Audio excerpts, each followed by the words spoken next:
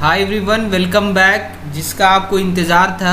First round second round third round का date आ चुका है जे बोर्ड की चॉइस फिलिंग का। तो the notice has been release और उसमें एकदम डिटेल में सारी चीज़ बताई गई है कि कब फ़र्स्ट राउंड होगा सेकेंड राउंड होगा थर्ड राउंड होगा। कितना दिन आपको चॉइस फिलिंग के लिए मिलेगा।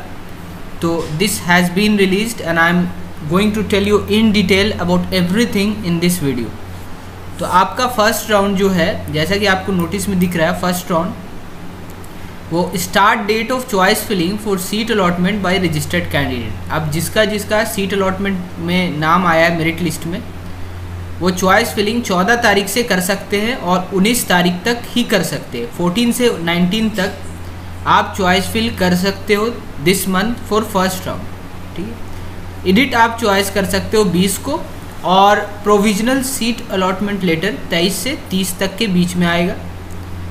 और डॉक्यूमेंट्स वेरिफिकेशन 23 को आपका प्रोविजनल सीट अलॉटमेंट लेटर जो है सीट अलॉटमेंट लेटर आपको किस इंस्टीट्यूट में कौन सी ब्रांच मिली, वो तेईस तारीख को आपको दिस मंथ पता चल जाएगा और आप एडमिशन कराने 24 से 30 के बीच में जाओगे। तो 30 तारीख से पहले आपका फ़र्स्ट राउंड ख़त्म हो जाएगा दिस मंथ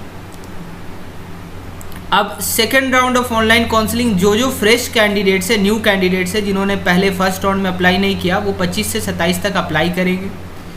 उनका state merit list second round का 30 को निकलेगा और वेकेंट सीट एक तारीख को रिलीज़ होगा कि कितने ब्रांच में कोई कितनी सीट्स वेकेंट है। फिर आपका चॉइस फिलिंग एक से पाँच तक रहेगा। प्रोविजनल लेटर आठ को आ जाएगा seat allotment letter second round का और आठ से सत्रह के बीच में सेकेंड राउंड आपका ख़त्म हो जाएगा। इन द सिमिलर वे जो थर्ड राउंड है, वो आपका अगस्त में ख़त्म हो जाएगा बाय दी अगस्त और फोर्थ ऑफ़ सितंबर चार सितंबर तक आपको थर्ड राउंड आपका एकदम क्लियर हो जाएगा। तो by the mid September you would be in the institute और by the end of September आप कॉलेज के अंदर रहोगे, ठीक है? आपका क्लासेस बिगिन हो जाएगा by the end of September और नवंबर से आप रेगुलरली क्लासेस करोगे। अगर स्पॉट राउंड होगा, अगर होगा स्पॉट राउंड तो वो थर्ड राउंड जो कि अगस्त में ख़त्म हो जाएगा, उसके दो महीना बाद स्पॉट राउंड हो सकता है। तो एकदम डिटेल में आपका डेट आ गया है चॉइस फिलिंग का। आपको अगस्त तक आपका तीनों round will be done with in the J C C B counselling you are you will be done with all the three rounds of the counselling by the end of August and one more very important thing Candidates who have been recommended for admission will have to submit all concerned original certificates as per their seat allotment, failing which their provisional seat allotment letter will be deemed cancelled.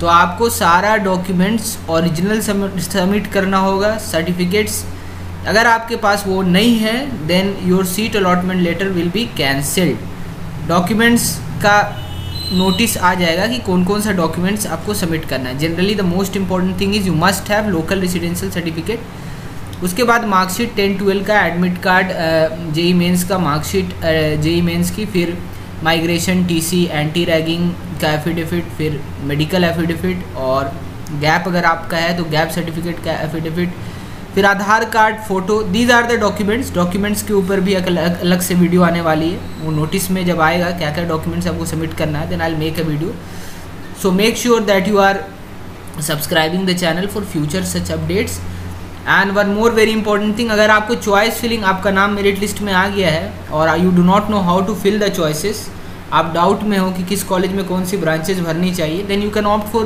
paid counselling guidance personalised counseling guidance for just rupees 149 95 plus candidates have already join that group ठीक है?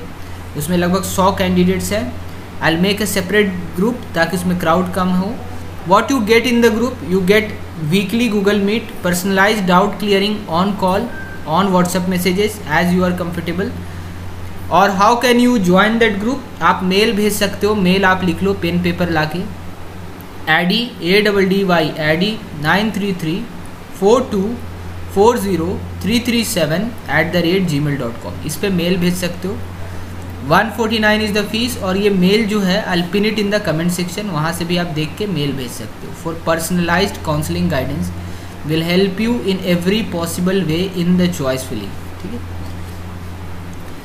And candidates are advised to fill as many preferences as possible for institute and branches in which they are interested to take admission for securing seat allotment as per their merit come choice ठीक है तो आपको यहाँ बता दिया जा रहा है कि जितना हो सके उतना choice भर दो यहाँ पे चौथे नंबर पे वही बताया जा रहा है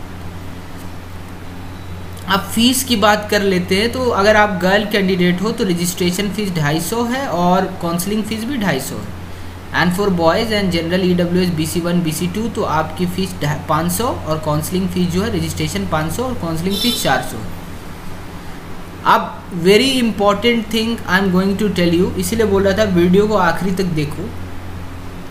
The partial admission fee being taken previously has now been replaced by the security deposit as per the direction of directorate technical education higher and technical education government of Jharkhand The security deposit will be later transferred to the institute for adjustment in their prescribed admission fees of the admitted candidates.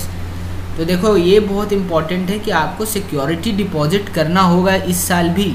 और वो security deposit आपका cut जाएगा जब आप admission लेने जाओगे admission fees में। आप एस टी या फीमेल कैंडिडेट हो तो आपको दो हज़ार रुपया सिक्योरिटी डिपॉजिट करना होगा। B C one B C two E W S हो तो पैंतीस सौ रुपये सिक्योरिटी डिपॉजिट करना होगा। जनरल के लिए पाँच हज़ार सिक्योरिटी डिपॉजिट करना होगा। ये सिक्योरिटी डिपॉजिट कब करना होगा? I am telling you choice filling करने के बाद जब आपका नाम आ जाएगा then only you have to do the deposit ठीक है? और चॉइस फिलिंग के ऊपर भी डिटेल में वीडियो आएगी। When the choice filling portal will open तब एकदम डिटेल में उसके ऊपर भी वीडियो आने वाली है। तो make sure you are subscribing the channel and the security deposit will be refunded if the candidates vacates allotted seat before the last round of counseling if the candidates does not take admission after the last round of counseling or does not wish to continue after admission the security deposit will be forfeited अगर आप last round से पहले seat अपना wicket कर देते हो जो भी आपको सीट मिल रहा है तो जो आपने सिक्योरिटी डिपॉजिट भर रखा है वो सिक्योरिटी डिपॉजिट आपके अकाउंट में वापस आ जाएगा In case candidate fails to take admission despite being recommended twice for admission during counseling, the board will forfeit the security deposit. बहुत इंपॉर्टेंट चीज़ है। अगर आपका नाम दो बार मेरिट लिस्ट सीट अलॉटमेंट में आ गया आपको दो बार कॉलेज मिल गया कोई आपने दोनों बार सीट नहीं एक्सेप्ट किया तो आपका सिक्योरिटी डिपॉजिट आपको एक रुपया भी वापस आने से रहा।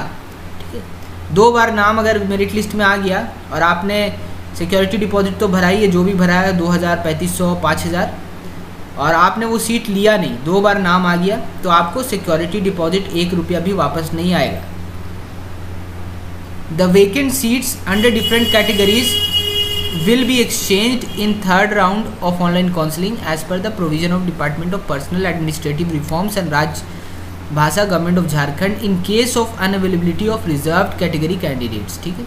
वही बता रहा है कि अगर थर्ड राउंड में आपका सीट वेकेंट रहा तो आगे चल के नेक्स्ट राउंड जो कि स्पेशल राउंड है, उसमें हो सकता है भर सकता है। तो this was the detailed breakdown of the counselling I hope you like the video if you have like the video make sure you are liking and subscribing the channel and you have doubts make sure you're writing it down in the comment section. We'll be more than happy to reply to your queries. And thank you guys. Take care. Bye bye. Have a nice day